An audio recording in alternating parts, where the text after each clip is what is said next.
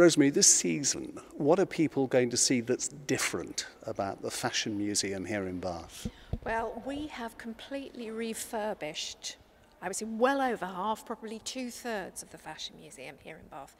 And people will be able to see a whole new exhibition called A History of Fashion in 100 Objects. So we've chosen 100 star objects from the Fashion Museum's collection, and this is what we're presenting to our visitors this season. The first piece that people will see is a shirt from a man's shirt from 1600s and the most up-to-date piece is our current dress of the year. So our current dress of the year is from 2015 and in between times people will be able to see a history of fashion you know men's fashion women's fashion.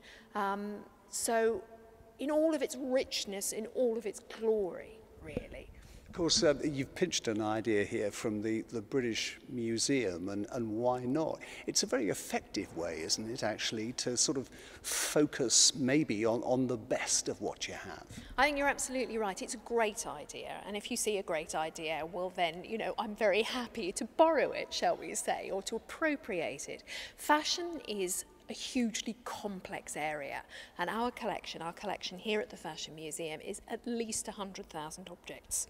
So to try and pull a story, pull a selection out for our audience is quite a challenging thing and hats off to the British Museum. They found a fantastic way to deal with the whole history of the world. And so we've really borrowed that idea we have chosen these star star pieces. We've listened as well to what people are saying they want us to present and people like the idea of having a chronological overview of fashion, but being able to pick up on various sort of different stories. So, yes, there are pieces by some of the major names, the major designers in fashion, but equally, there are pieces that um, we don't know who they were made by. We don't even know who they were worn by. Um, we're also picking up on men's dress as well as women's dress, on accessories to dress, as well as main pieces, as main items of dress as well and trying to find, I guess, a trope or an idea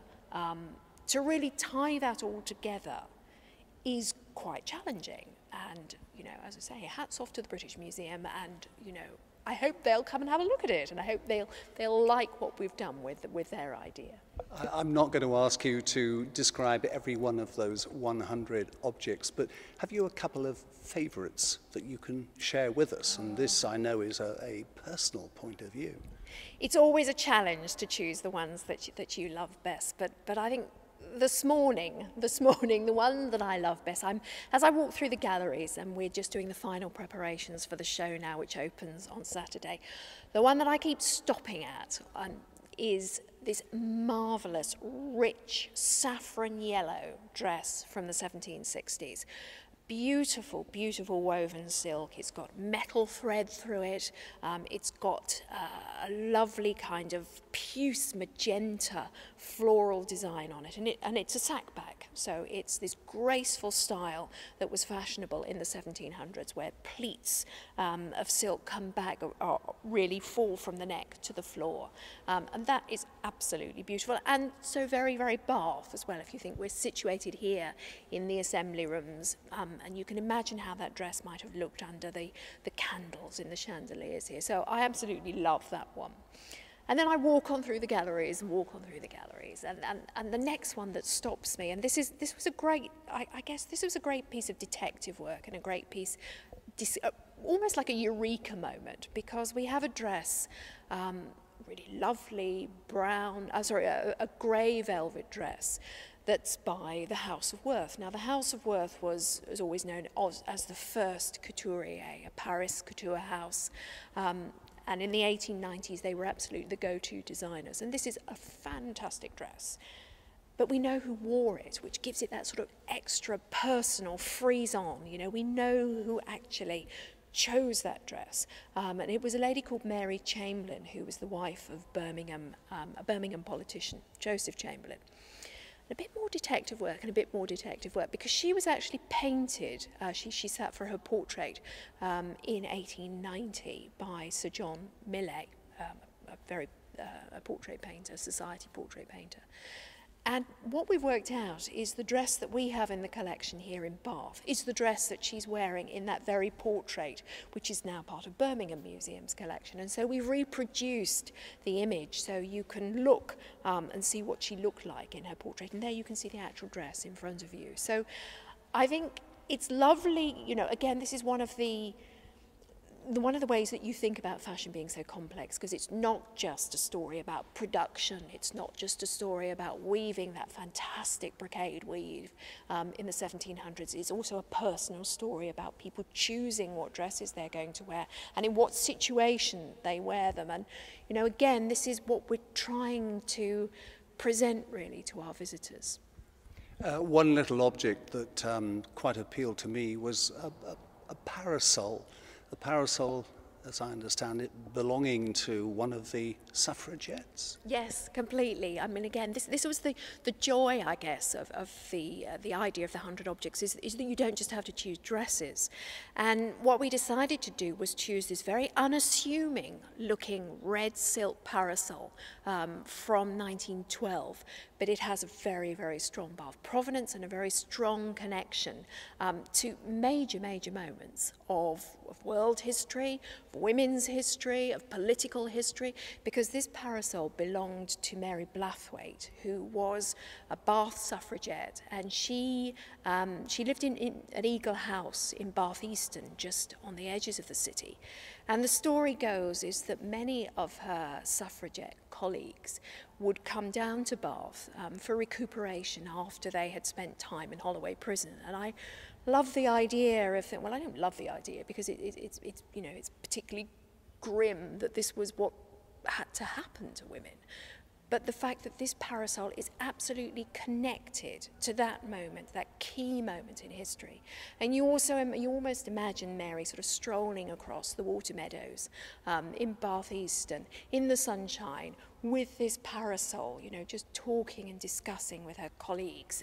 And those were the women who moved history on so much. And here we have that piece right here in the Fashion Museum in Bath. This is a, a typical chauvinistic point of view from a man. I bet she poked a few policemen with that parasol. well, good for her, you know, and that's the joy of fashion, that, you know, it's practical on all kinds of levels, and it is beautiful. I have to say that the shot silk, the red shot silk of this parasol, is particularly beautiful in the way that it catches the light. You know, it just shows you that fashion and style can be found in the tiniest, tiniest, weeniest objects as well. I'm going to coax one more favourite out of you because I know there's a celebrity dress that you particularly like. We have a celebrity dress. Um, I'm, I'm of the generation that, that um, understands the celebrity value of Elizabeth Taylor. Um, in the 1960s, the, the sort of the romance between Elizabeth Taylor and Richard Burton was absolutely headline news. And we have a dress um, here um, in the exhibition. I think it's actually dress number 80, uh, object number 80, which is, it's a very um, slinky uh, light green dress, which is completely covered in beads. Now, all of this, all, everything in this dress, both the fabric from which it was made and indeed these beads, were, were made of synthetic materials. And it was given to us by an organization called the Man-Made Fibers Association. And again, this is another of these dresses that we did a little bit of detective work about because um, it was something that obviously had it, it, it was a PR exercise, really, to show that synthetic materials were worthy of um, high couture. And in fact, it's designed by Norman Hartnell, who is the leading British, or one of the leading British designers in the late 1950s. It dates from 1958.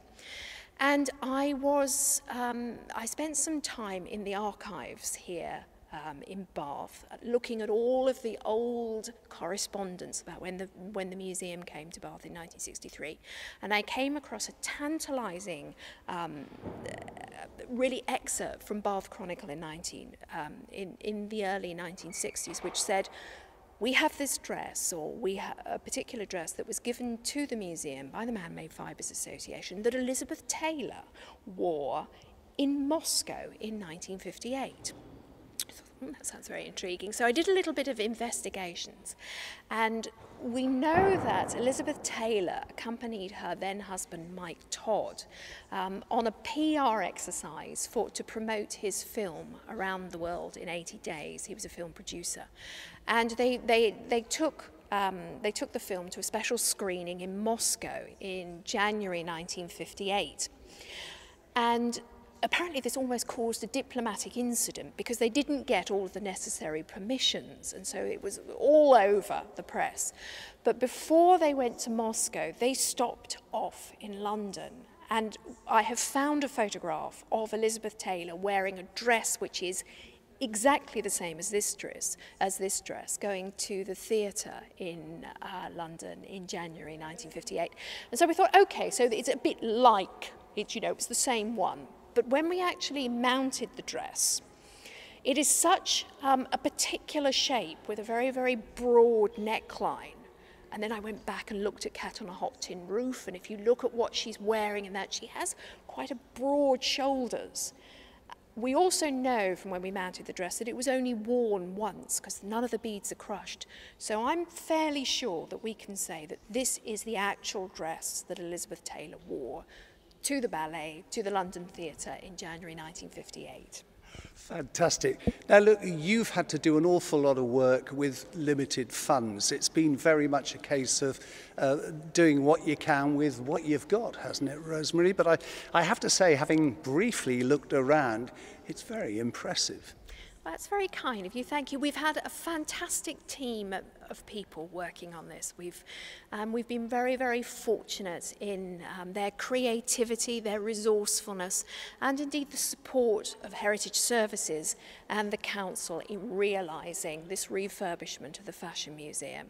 Um, we really, really hope that visitors enjoy it, The exhibition opens on Saturday the 19th of March and we're really looking forward to welcoming visitors both from within the city and those who visit our city to, to, to, to see uh, the history of fashion in 100 objects. Or no, it isn't the history, it's a history. That's really, really important because fashion is such a fabulous subject that you know everybody's got a slightly different take on it. So this is a history of fashion in 100 objects.